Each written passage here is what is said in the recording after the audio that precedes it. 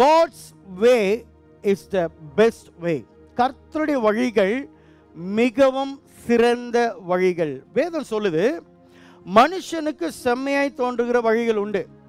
மனுஷனுக்கு அவன் மூலையில் என்னென்னலாம் யோசிக்கிறானோ அதெல்லாம் அவனுக்கு இன்ட்ரெஸ்டாக இருக்கும். மனுஷனுக்கு என்னென்னலாம் அவனுக்கு சாதகமாக இருக்கோ அவன் தவறே பண்ணாலும் பாருடா நான் இப்படி வாழ்ந்து கூட எனக்கு பாருடா இது வந்துடுச்சு.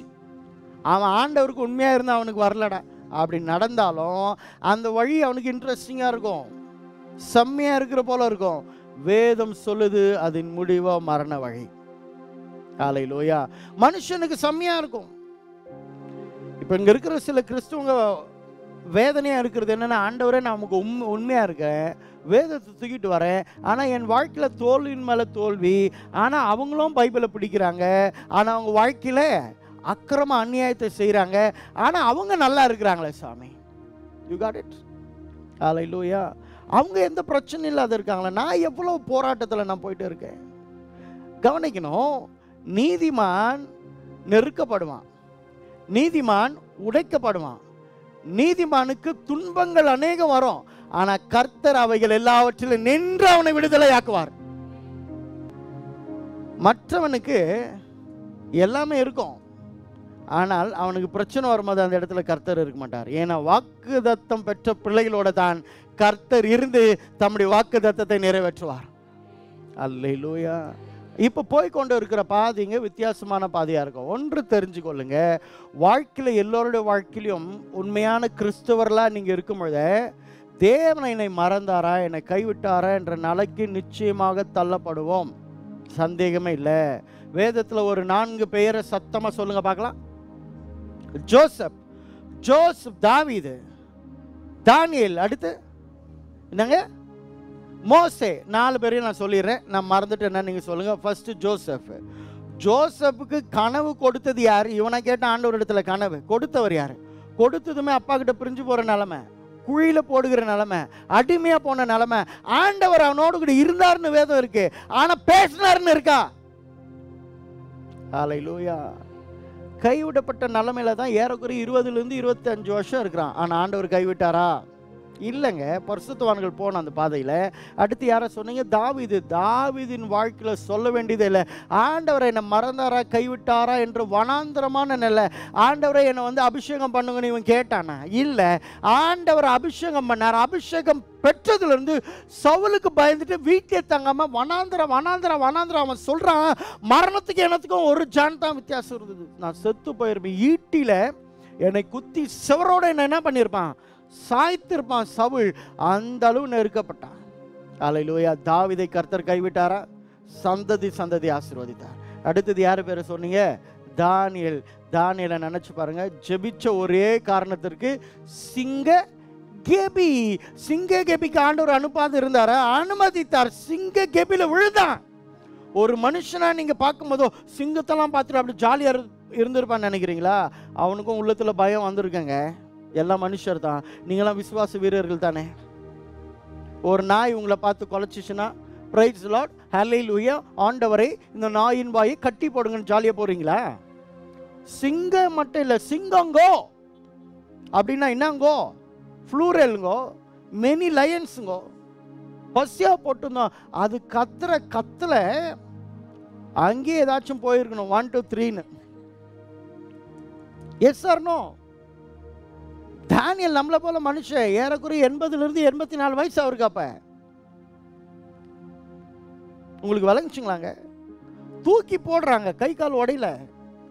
சிங்கம் சாப்பிடல. சிங்க கேபில் ஆண்டவர் அனுமதி தரா எஸ் சிங்கங்கள் அவனை கொன்றதா நோ ஆலை லூயா கர்த்தர் கைவிடல ஆமே ஆலை லூயா முன்னாடி இருக்கிற பெஞ்சை காலி பண்ணனா சபையை உற்சாகமாயிடும்.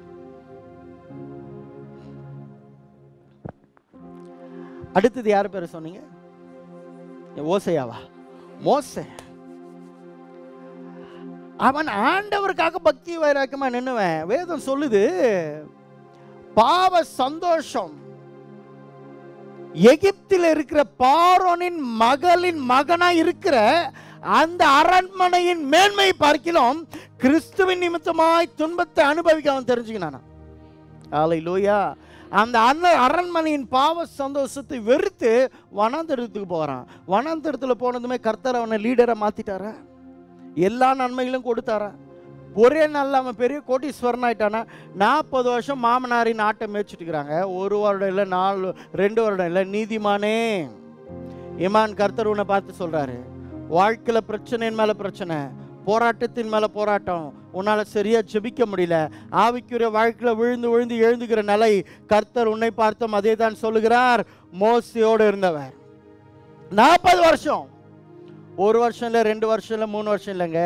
உலகத்திலேயே மிகவும் வேதனையான ஒரு வேலை எந்த வேலைனா மாமனார் கீழே வேலை செய்கிறது மரியாதைன்றது இருக்காது. அவனுக்கு அடிமையாக வேலை செய்கிறது அந்த வேலையை தான் யார் செஞ்சுட்டு இருக்கிறது? மோசை செஞ்சுட்டு ஃபார்ட்டி இயர்ஸ் மறக்கப்பட்டவனா இருக்கிறான். கர்த்தர் மோசையை மறந்தாரா?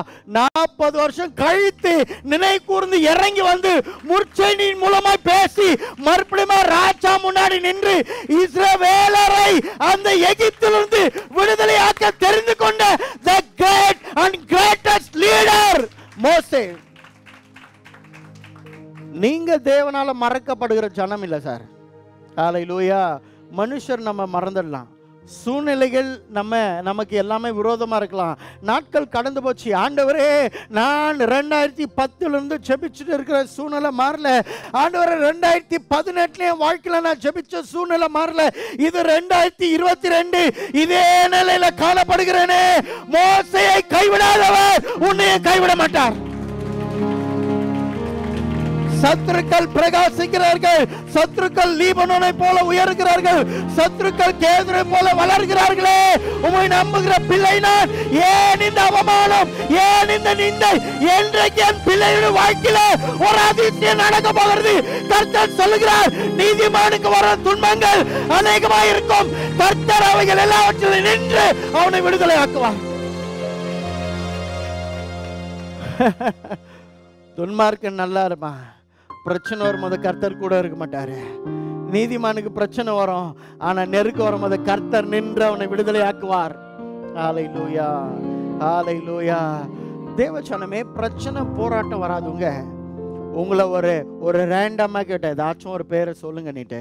நீங்கள் சொன்ன நாலு பெயரையும் வாழ்க்கையில் எவ்வளவு மறக்கப்பட்ட நிலையில் போனாங்க எவ்வளவு கர்த்தர் உயர்த்தினார் என்பதை நான் காட்டினேன். அதே நிலையில் நீங்கள் போனாலும் ஒன்று சொல்லுங்கள் பக்கத்தில் இருக்கிறவங்கள பார்த்து உங்களையும் கர்த்தர் உயர்த்துவார்.